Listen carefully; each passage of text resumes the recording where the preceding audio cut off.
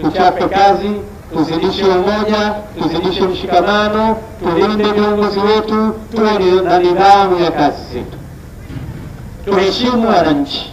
Wananchi hawa ndio wametupa madaraka haya, lazima tuweke nidhamu kwa wananchi lazima tuwatumikie wananchi.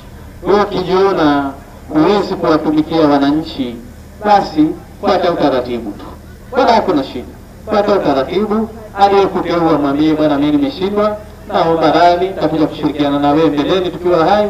Wengine wapo, hiyo nafasi ulionayo, tunasitiza watu mia mbili wanataka hiyo nafasi, tena wana uwezo kuliko wewe, sisi moye.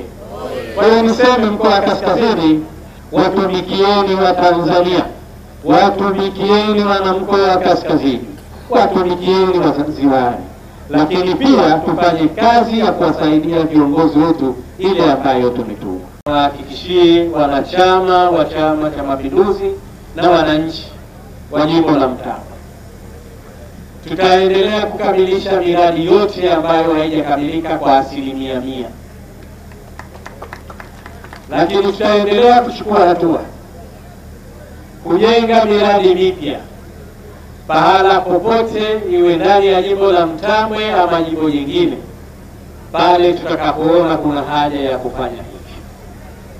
Ninachowaomba ndugu zangu wa Mtamwe, endeleeni kufuatilia kwa karibu maendeleo. Wakati huu tulionao si wakati ule wa kudanganywa danganywa jioni. Wakati huu ni wakati wa maendeleo. Chama cha Mapinduzi kinaangalia maendeleo.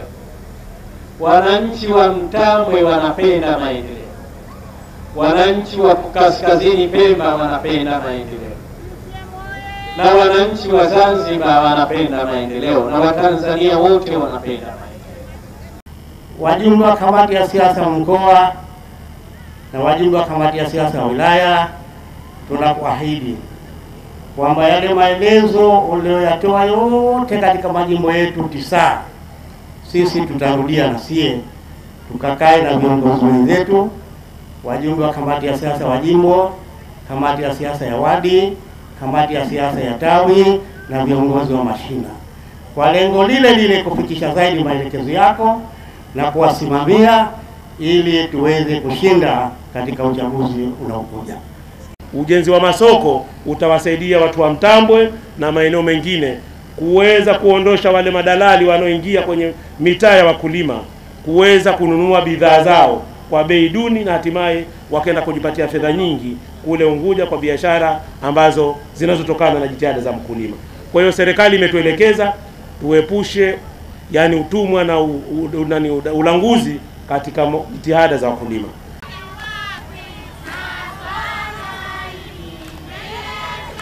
wale wanasale